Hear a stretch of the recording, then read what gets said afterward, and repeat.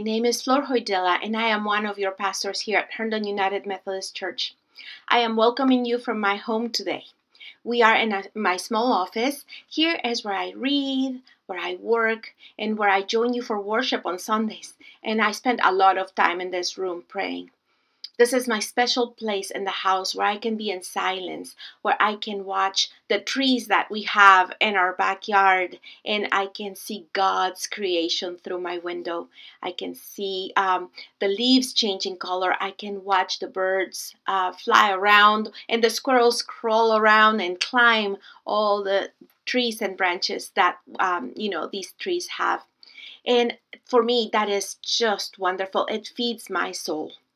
I also set up an altar in my office, and it's right here. It has a plant which I love. It's um, I love plants. It reminds me of nature. We have nature inside the house, and um, a candle that reminds me of the light of Jesus in the world and in my soul, and also a cross. And I love crosses. As you can see, I am wearing one today, and there's one right there on the wall, and I have them all over my house because through the crosses that I have in my house, I remember the sacrifice that Jesus gave um, us, that made for us, so we could be free today, free of sin, free of um, any burden that we can have in our lives. And Pastor Jonathan is going to introduce you to a way of how the sacrificial love um, can work in our lives and how we can uh, set ourselves free because we tend to do that we tend to go back and to carry all these things that um, you know life has given us or sometimes the stuff that you know we create in our hand in our heads. But this morning, I want to invite you to please join me in prayer. We're going to pray the 701 prayer, and the words will appear on your screen. Let us pray. Loving God, open our eyes to see beyond ourselves. Open our ears to hear the cries of those in need. Open our hands to grow in service. Open our minds to share good news in new ways. Open our hearts to love as you love. Fill us with your Holy Spirit. In Jesus' name we pray. Amen.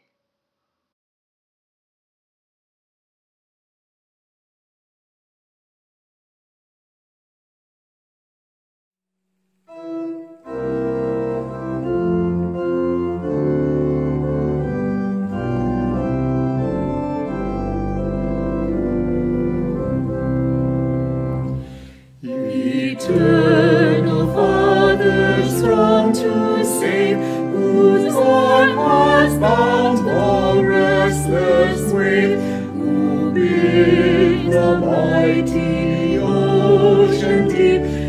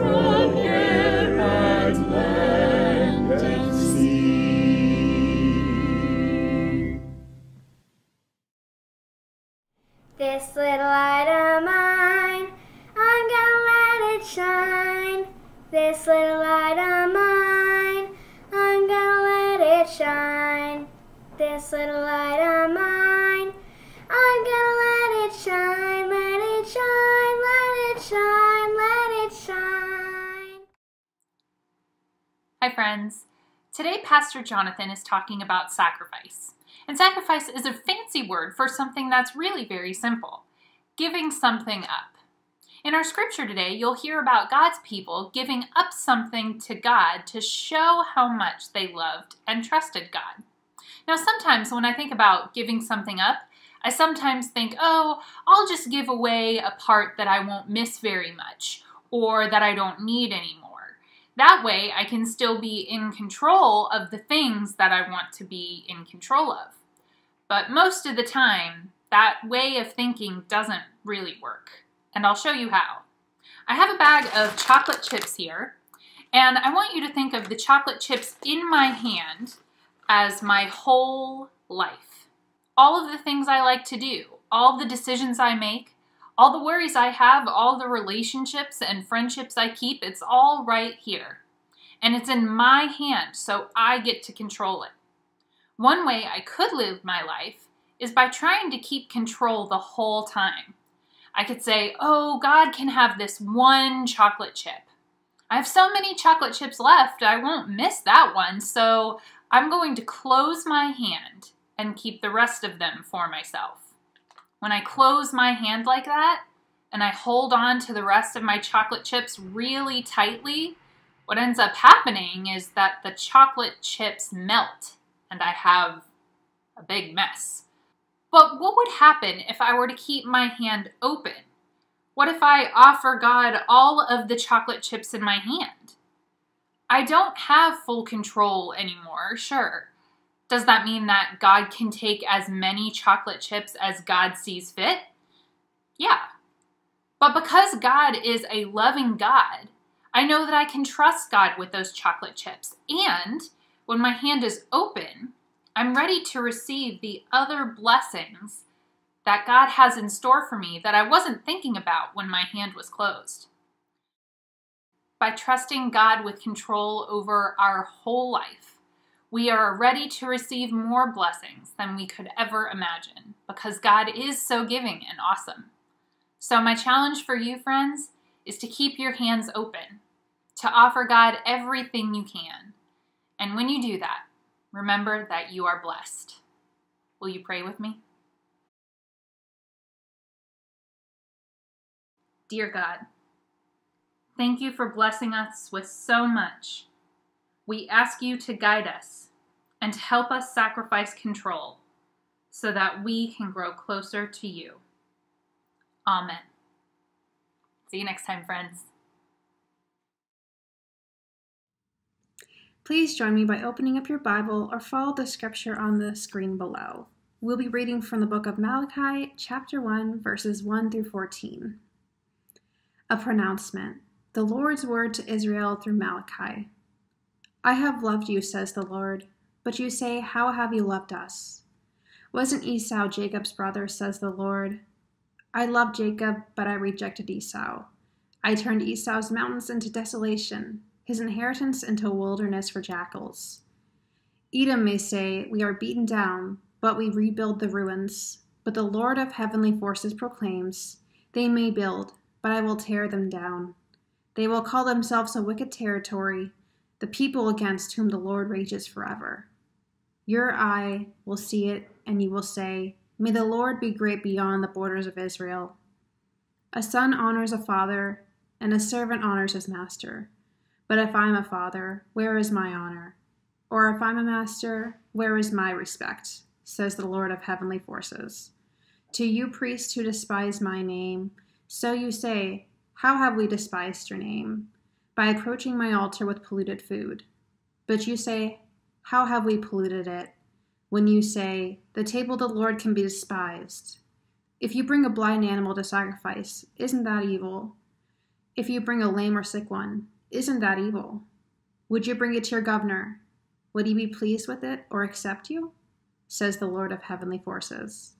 So now, ask God to be gracious to us. After what you have done, will he accept you? says the Lord of heavenly forces. Who among you will shut the doors of the temple, so that you don't burn something on my altar in vain? I take no delight in you, says the Lord of heavenly forces. I won't accept a grain offering from your hand. Nevertheless, From sunrise to sunset, my name will be great among the nations. Incense and a pure grain offering will be offered everywhere in my name, because my name is great among the nations, says the Lord of heavenly forces. But you make my name impure when you say, The table of the Lord is polluted, its fruit, its food is despised. But you say, How tedious, and you groan about it, says the Lord of heavenly forces. You permit what is stolen, lame, or sick to be brought for a sacrifice, and you bring the grain offering. Should I accept such from your hands, says the Lord? I will curse the cheater who has a healthy male in his flock, but who promises and sacrifices to the Lord that which is corrupt. I am truly a great king, says the Lord of heavenly forces, and my name is feared among the nations. This is the word of God for the people of God. Praise be to God. Amen. Hey, friends. This is Pastor Jonathan, and I am so excited to be worshiping God with you today. I want to thank everyone who's been a part of today's worship service so far and who will be participating in just a little bit. Today, we are starting a brand new sermon series that's called The Storm Before the Calm. Over the next four weeks, we're going to be reading the book of Malachi. Malachi is the last book of the Old Testament. It's written somewhere between four and 500 before the birth of Christ, four or 500 years, excuse me, before the birth of Christ. And what we might discover in this, in this book that oftentimes is overlooked is a story of a people who are experiencing chaos chaos inside of themselves. They're not sure about the right way to live, the right way to go about things, and maybe there's confusion and bewilderment that they're having to deal with there's chaos outside of them. The the leadership that's around them is a little bit misguided. The the world around them feels like there's a lot going on in it. And the reality is there's a, a season that is forthcoming where we're not going to hear a lot from God. We're gonna we're gonna see relative calm, relative peace before Jesus comes in to shake it all up. I wonder how much that story this story that we're going to be sharing over these next few weeks that's a few thousand years old, how much it might relate to what we are going through today. You see, I think about myself and, and some of the storms that are going on inside my mind and inside my heart.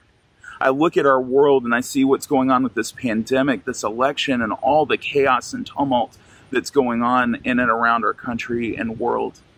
And I think about how much probably one of our biggest longings right now is just to have a sense of calm and a sense of peace. So, over the next few weeks, we're going to discover what it was that Malachi was sharing with the people that he was there to, to prophesy to. Here's the thing you should know Malachi, we're going to use that name. We don't even know if that's the name of the person who was prophesying, if it was just one person or not. Malachi in Hebrew literally means my messenger. This could be a single prophet, it could be a series of prophets. What we're confident about, though, is that this happened four or five hundred years before the birth of Jesus, that this is the last thing that we'll hear about before the birth of Jesus as it's recorded in the biblical canon.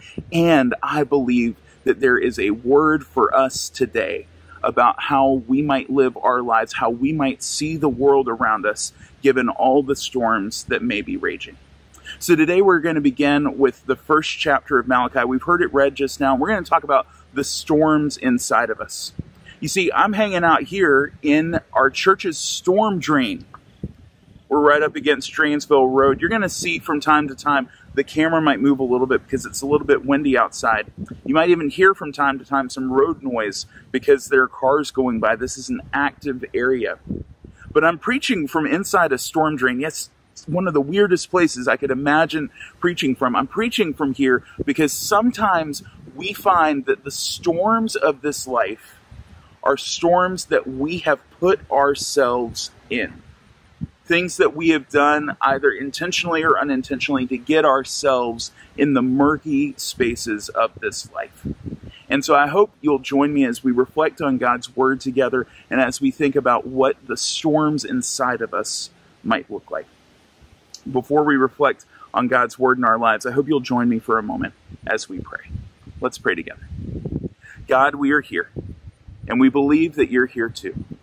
We're praying for these moments ahead, God, that as we reflect on your word and on our lives, God, would you be speaking to us?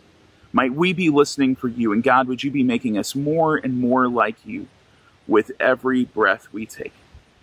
We love you, God. And it's in your son's name that we pray. Amen. So, when I was growing up in high school, every summer I went on a trip called the Appalachia Service Project. ASP for short, was this mission experience where we'd go to the hills of Appalachia to do service projects in and around people's homes. And every summer that I went, we would always have teams of teenagers working on things like putting up drywall or fixing plumbing or maybe putting up new roofing. And those teams of teenagers were always supervised by a couple of adults. The adults were there to give us advice, to, to help with using power tools and things like that but really they were meant to truly be advisors as opposed to kind of hardcore workers. So inevitably, each and every summer, we would have an adult on site who would be supervising the work that we would be doing as teenagers. And I think every single summer, at one point, I heard this phrase. I wonder if you've heard this phrase before when you've been doing uh, some kind of, of construction work or some kind of home project. We'd be putting something up, trying to see if something fit, get the measurement right, put up the sheetrock just right, lay the shingle just right, whatever it was. And the person advising us would stand back, look kind of closely, peer with their eyes, maybe squint a little bit, and say the following phrase Looks good enough for government work. Looks good enough for government work. Have you ever heard that phrase before? Looks good enough for government work? A lot of times we say that today to mean something that may not be totally accurate. Something that, like, well, it might fit, but we might have to go back and fix it later. Do you know the origins of this phrase, good enough for government work? It started being used in World War II. During World War II, a lot of manufacturing came from the United States, and folks were called upon to, to do work on behalf of the government. And, and what what historians tell us is that, that the standards for government work were so rigorous, they were so exact and so precise that when you were told what you had done was good enough for government work, it was like the highest compliment you could be given. It was an accolade. It was something you could reflect on, rest on, and say, wow, I did a really good job with this. You see, over time, that phrase has come to mean something else rather than it being a sign of precision and excellence, it's a sign of passing and, well, maybe it'll work out. You see, the reality is when we encounter the, the people that, that Malachi is speaking to in the first chapter of Malachi, we're, we're reading about the nature of their sacrifice. And sometimes when we think about sacrifice, that's a little bit of a tricky thing for, for us people of faith because we might say, well, well, sacrifice was something for the Old Testament. That's like uh, an old way of thinking. We don't we don't do that kind of sacrificial kind of thing anymore. The reality is, while we may not be sacrificing animals or, or property or things like that, we are called to sacrifice our lives, our our our hearts we're called to have that sacrifice of spirit for God. And and the criticism that Malachi or the, the prophet who is who is being called Malachi is offering is that the nature of, of the sacrifice of the people is is sort of a half-wit sort of thing. It's like, well, well, you're giving a part, but you're not giving the whole. And like when I first read this text, I have to tell you, my first inclination was to say, well, well, this is about trying to have a better sacrifice, right? To to be more whole in our thinking about what it is that we give to God. Maybe it means that that we're supposed to like dress nicer when we're when we come to church, or or to put more money in the offering plate, or or somehow to give more time or more energy to God, something something like that. That was my initial thought and something that I think a lot of us might wrestle with. I, I even think about uh, the the text from First Corinthians, the verse uh, First Corinthians chapter twelve, verse thirty one. I've got to tell you, this was the verse that was shared at my ordination. This is my ordination verse, sort of the the vision for my ministry. It's First Corinthians twelve thirty one that says. Uh, do the greater things, and I will show you still a more excellent way. It's this idea for me, it, it's this centering on like pursuing excellence as a part of our call as Christians. And when we pursue excellence, God goes over and above and shows us even a more excellent way. But, but a part of our call is to do the best we can always.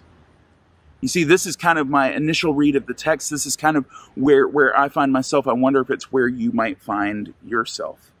But the reality is that when we think about sacrifice that way, can I tell you the danger of that?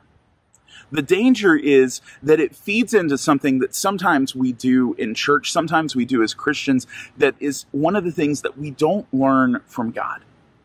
And that thing is getting this perfectionist mentality. This idea that somehow we have to be the best, we have to do the perfect thing always, and we have to come back and edit and edit and edit until we get it exactly right. You see, the more that we buy into that perfectionism, the more we buy in to that being sort of our modality and our way of thinking, I think sometimes we can get a little bit lost. We can say somehow that that what we are and who we are is dependent wholly on us and our effort. You see, when we start talking about the nature of sacrifice, I think we have to remember that that we are reading Malachi about 2500 years after it was written. You know, it's written about sacrifice and then a, a couple hundred years later, a few hundred years later, I've kind of alluded to this already. Do you know who comes and kind of gets in the picture? This guy named Jesus. Jesus shows up to, to be born of a virgin and to live and to teach and to heal and to minister. And then, do you know what Jesus does? Jesus dies on a cross. Literally, Jesus makes the perfect sacrifice for us. If you somehow believe that you have a sacrifice lined up, you're like, oh, God's going to love this one. I, have got this brand new suit. I, I got to tell you, like, is that comparable to the sacrifice of Jesus on the cross? Or if you say, you know what, like this was a great quarter for me, I'm gonna I'm gonna stack that plate. Look at God's gonna be so impressed with this sacrifice. I, I gotta tell you, like, is that better than Christ upon the cross? You see, my friends, the, the perfect sacrifice has already been made on our behalf. And not only is that sacrifice made, but, but the story continues because Jesus not only dies for us, Jesus is raised for us. We are witnesses to the resurrection and the idea that Jesus is living here and now within each and every one of us. And so here's the other side of the pendulum. What we might say is, okay, well, if we don't have to, to do that like big extravagant kind of sacrifice, maybe we don't have to do any sacrifice at all. Maybe we're just off the hook. Jesus died for us. Woohoo, let's go have a party. Well, I'd say whoa on that too. Because I think there's some something that's kind of in between all of this. You see, I think so much of what we read about in Malachi and the storms that are happening within us are often storms of our own making. Now, some of them are not. Sometimes things happen to us and, and we have to wrestle with that and own that. And I want to, I want to acknowledge that that's a very real thing. I just think that a majority of the things that we walk through, a more majority of the challenges we face that are internal are often things that we are, are seeing happen to ourselves. It's kind of like how I ended up in this storm drain. It wasn't that like somehow I teleported in here. It wasn't that somebody like I had a, a brawl with somebody out on Dranesville Road and somebody pushed me in here. I walked down here willingly. I chose to be in this space. So here's the thing about sacrifice and storms within us and storm drains. I think where all this comes together is the nature of sacrifice that God might be asking us to make now. Do you know what I think the biggest sacrifice you and I might be called to make might be? I think it's the sacrifice of control. Giving up control of our situations, giving up control of our day to day life, giving up control of the chaos that we are trying to manage inside and outside of us. You see, can I tell you how I usually handle like like in my prayer life when I've got something going on? I might say like the Lord's Prayer, for example, thy kingdom come, thy will be done. Like God do your will. And then, rather than seeking out, pausing, being quiet, taking a deep breath, and intentionally reflecting on God's will, you know what nine times out of ten I do? I keep doing the same thing. I go back to my past behavior. I go back to my past action. And rather than seeking how God might want to seize control of my life or of my situation, I take it back from God. It's as if I'm, I'm holding on to a balloon on a string and I hand it up to God, like, God, take this from me. But I never let go of the string. Can you relate to that? Are there ever times in your life where, where it feels like you're asking God to take something from you, where maybe you've asked God to take control, but you've never been willing to actually give it up for yourself? I love the way Richard Rohr, the theologian, will talk about this idea of thy kingdom come, thy will be done. He writes this to pray and actually mean thy kingdom come. We also must be able to say, my kingdoms go. To be able to say, Thy kingdom come, we must be able to say, My kingdoms go. I wonder for you, where have you been holding on for way too long to something that God would rather hold on to for you? What is it that maybe you've been clinging to in your soul? What conversation? What relationship?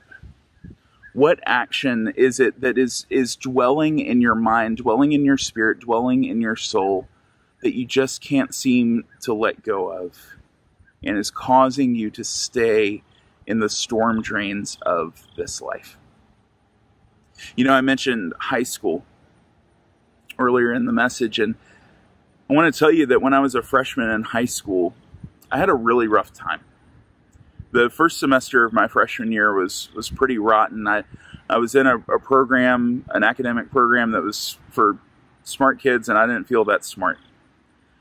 All the work was getting to me. I, I was navigating a new friend group. It, all of it was just way, way too much. And it all kind of came to a head in an Algebra 2 trig class. You see, I took Algebra 2 Trig as a, a freshman in high school, and, and in the class we were taking a test about, who knows, parabolas or hypotenuses, hypotenusy, I don't know, whatever that's supposed to be called. And I studied really hard for the test. I thought I had the concepts down, and, and the test came back, and can I tell you, I got like, I think I got a 17 out of 100 on a test. And I got that back, and I got home, and I cried. I cried because up until that point, so much of my life had been defined by academic success. I was one of like the smart kids. I had done well in school. And all of a sudden, I felt like a part of my identity was slipping away. And I didn't know what that meant for the present, and I didn't know what that meant for the future. And I cried that night, and for days, I felt this sense of doom or guilt. I might name it today as anxiety or worry. A few days later, I was at my church's youth group, and our youth leader had an activity for us. He asked us to get an index card that they had they had some there. So on the index card, he said, "Would you write down the thing that is burdening your soul the most right now? Write down the thing that is burdening your soul the most right now." And so we were able to go off into a corner and kind of think and reflect for a few minutes. And can I tell you, it didn't, I didn't need a few minutes. I knew that math test, that was the thing that was burdening me. And it wasn't just the math test, it was the, the shifting of my identity. It was this idea that maybe who I thought I was going to be wasn't really going to turn out to be true. And so I took the index card back and I held it in my hand like we were instructed to. And and after a few moments, our youth leader said, Hey, go over to a volunteer. They're going to punch a hole in your index card, like a hole punch. I said, Okay. So, so they punched a hole in the index card. And then he said, And then we're going to tie a string to the end of it, like a, like a, a piece of twine kind of thing. So they tie the twine to it. I'm thinking, What on earth are we about to do? Are we going to like lasso our fears or something like that?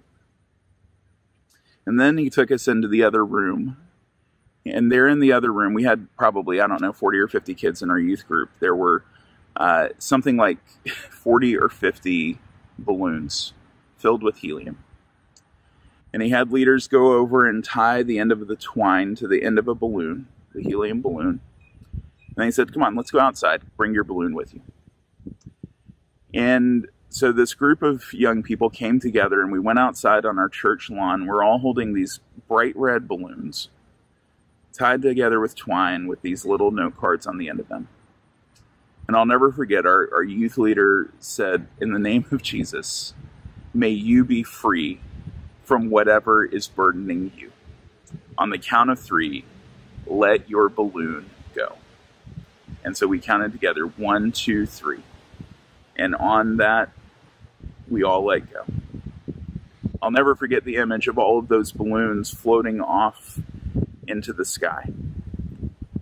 I'll never forget the sensation within my soul of letting go of that worry and that fear, letting go of that guilt and that burden. And I'll never forget one of my friends, her name is Courtney, just a few feet away from me, letting go of her balloon and literally dropping to her knees and yelling at the top of her lungs, Thank you, Jesus! Thank you, Jesus. You see, I know in that circle of 40 or 50 teenagers, for some people, there was some deeper stuff going on than a failed math test. And I know that for you, for us who are gathered in this digital space, sometimes there is some deeper stuff going on than a failed test or a missed opportunity. Sometimes we are guilty, friends, of carrying burdens with us, not only for days, but for weeks and for months and for years and sometimes for decades. And when we carry that, when we say we're going to hold on to that, when we, when we cling to that, what we're doing is burdening ourselves with something that Jesus died for a long time ago. We are guilty in those moments of giving a partial sacrifice. But it's not something we have to stay guilty of forever. I want to invite you right now to think about how you might be holding on to something holding on to guilt, holding on to shame, holding on to worry, holding on to fear. And I want to ask you, how are you going to give that over to God? How are you going to let your balloon go? You see, my friends, the, the chaos of this life, it's not totally preventable. Stuff happens to us, stuff happens in our world but we do get a choice in how we handle it. We do get a choice about who we give control to. My hope and my prayer for you is that you might discover that the arms of Jesus are wide and that God's love is big enough to hold you, to cover you, and to take that which never really belonged to you from you so that you might live freely and completely as God's child in the strength of God's love. May you know that you are loved. May you be about sacrificing control. And may you be making your way out of the storm drains of this life into the fullness of who God is and how God loves. Thanks be to God. Amen. We're entering a time and space for prayer and for giving. Take a few moments to consider what you want to share with God right now. It could be joys, concerns, or something else. As you feel led, you're invited to share what's on your heart in the comment section from wherever you are right now. But also, don't miss the chance to listen for what God might be sharing with you. Prayer is a conversation, so not only can we share, but we can also receive what God might be placing on our hearts. During this time, you're also invited to consider giving. Herndon UMC relies on financial generosity to sustain and grow ministry and mission. And this is an important element of our spiritual lives. There's information in the comments about how you can give if you choose to do so. Most of all, let this be a time to continue worshiping God and discovering how God's love might be transforming you and also the world around us.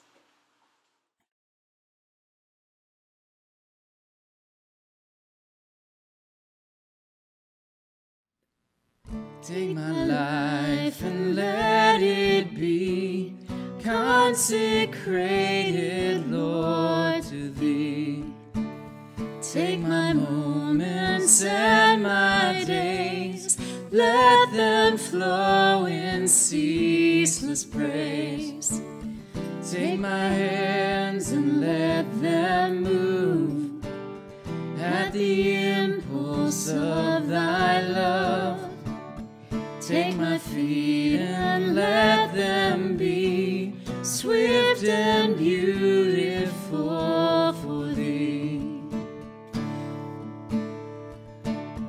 Take my voice and let me sing, always only for my King.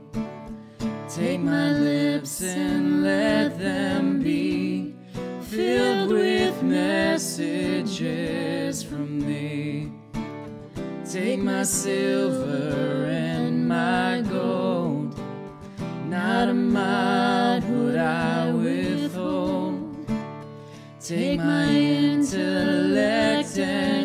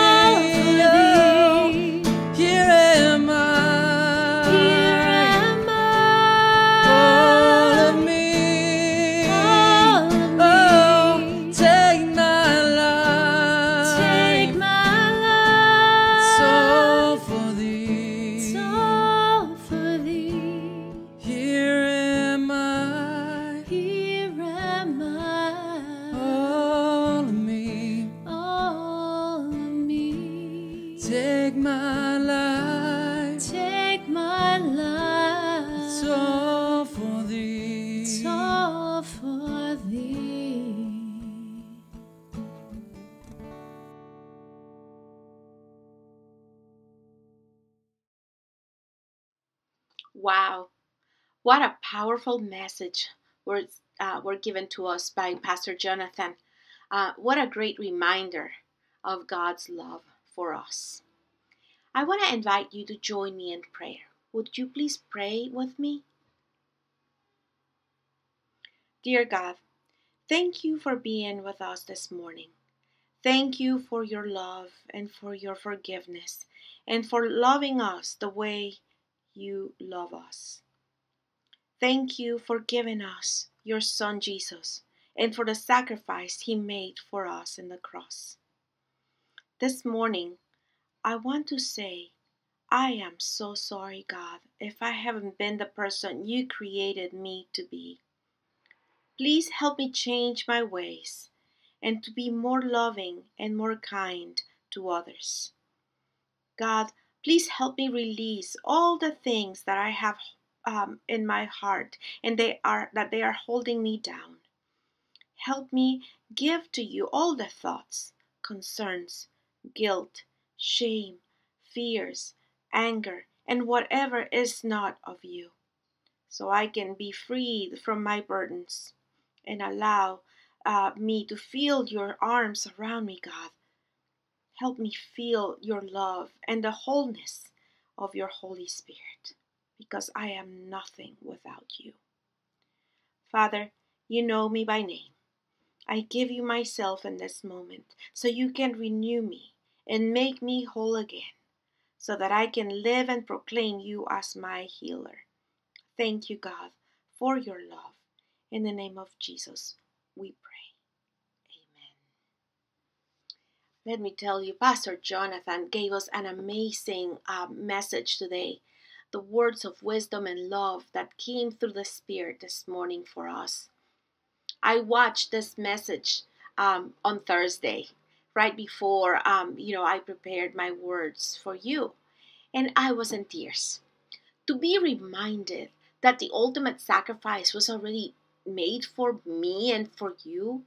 To be reminded that God's love is for everyone is just amazing and to be able to live a life with God and allow Him to enter into our lives through His Holy Spirit is what you and I are seeking every day. Let us think about all the things that we heard this morning. And let's think also about the things that are holding us back. All the thoughts, concerns, the guilt, the shame, the fears, the anger, the feuds from the past that feel heavy, excuse me, on our shoulders and on our soul in our souls brothers and sisters let uh, let us put all of these burdens at the bottom of the cross so we can feel the freedom that comes with it and I want to say that I read your prayer requests this morning and the joyful sightings from the week. Thank you so much for sharing them with us. We will be praying for each one of them. And if you ever feel like you need prayer and if you want to reach out to me, I am here to serve you. Please uh, email me. The email, my email is showing right now on uh, at the bottom of your screen, and I will um, talk to you. We can set up a time that is convenient for you um, to meet uh, over the phone so we can pray together. And right in that place where you are right now, connected through the Spirit of God, through this community, and through God's love, I would like to in- invite you to join me to pray the Lord's Prayer. Let us pray. Our Father, who art in heaven, hallowed be thy name. Thy kingdom come, thy will be done, on earth as it is in heaven.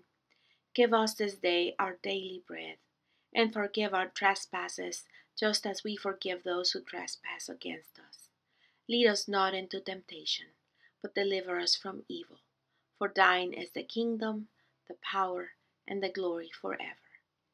Amen. Thank you so much for being part of our worship gathering this morning. Please stay connected and continue to worship with us throughout the week. I would love to stay connected with you. In Jesus' name,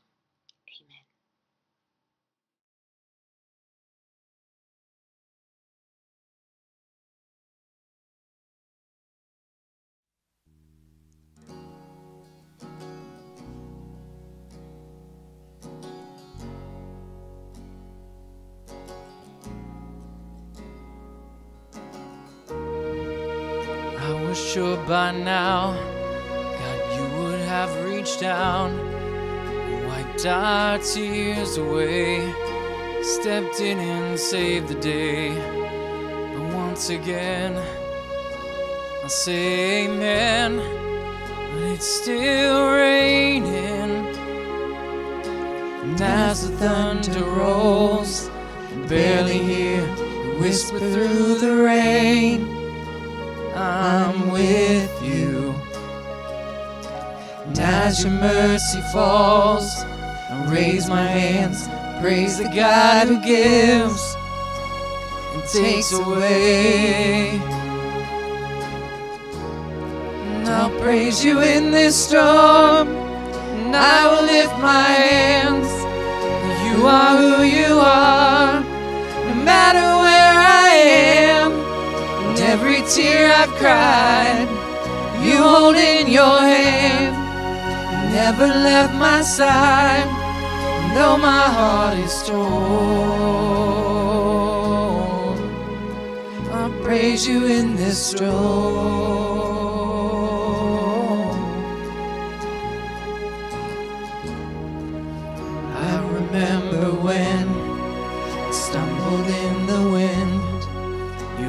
My cry, you raise me up again. My strength is almost gone. How can I carry on? And I can't find you. And as the thunder rolls, I barely hear you whisper through the rain. I'm with you. And as your mercy falls, raise my hands, praise the God who gives and takes away. And I'll praise you in this storm, and I will lift my hands, for you are who you are, no matter where I am. And every tear I cry, you hold in your hand. You never let my side, though my heart is torn, I'll praise you in this storm.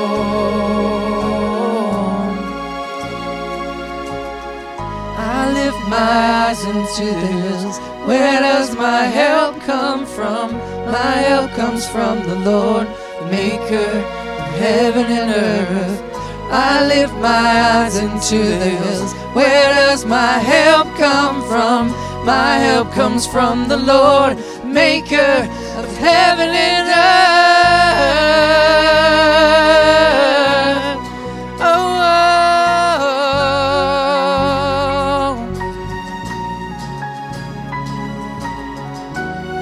And I'll praise you in this storm, and I will lift my hands, you are who you are, no matter where I am, and every tear I've cried, you hold in your hands, you never left my side, though my heart is torn, I'll praise you in this storm. Though my heart is torn,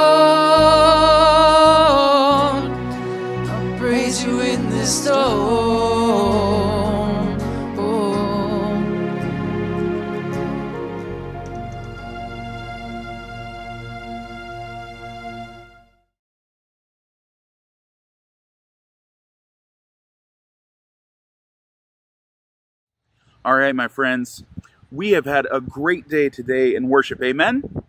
You can write in the comments, amen, if you want to.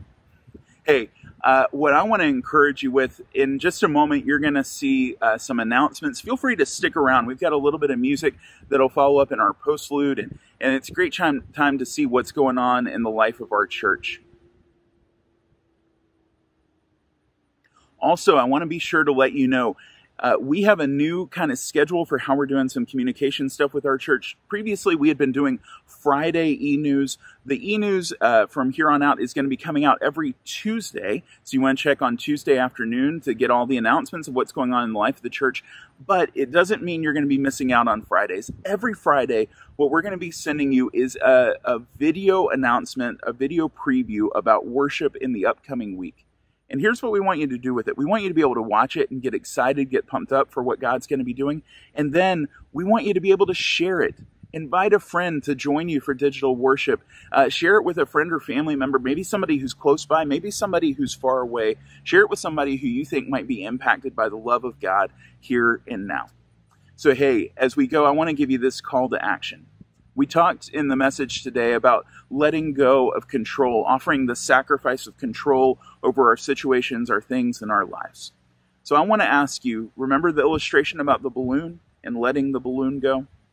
How are you going to let your balloon go and let God take control of your life? I want to encourage you to think about doing something very simple, just a simple activity. I want you to think about what it is that is burdening you right now. It may be one thing or it may be several things. I want you to, to do me a favor and write those down on an index card or a piece of paper. And I want you to think about one of the things I realized. Uh, I told you that illustration about something I did about 20 years ago as a high school student. Uh, now I would tell you, well, letting a balloon go is maybe not the best way to care for God's creation because that balloon will eventually uh, disintegrate and all that stuff will get back to the earth. But I do think there are other ways that we can symbolize letting go of our burdens. If you want to do the balloon thing, have at it. But I might encourage you, if you have a fireplace or a fire pit nearby, what would it look like to write that down and put that into the fire? What would it look like to write that down and put it into a paper shredder? Or even, what would it look like to write that down and have a trusted person or persons that you could share those fears, those worries, those burdens with, and ask for their help in giving that over to God? Ask for their help in releasing you from that burden. Think about what the best strategy for you is, but don't think about it so long that you don't do it. The important thing is to be able to think about it, to take action, and then to do it.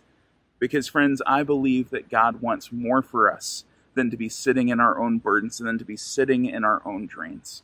I think God wants to be able to alleviate the storms happening within us and to bring us into spaces of hope and healing.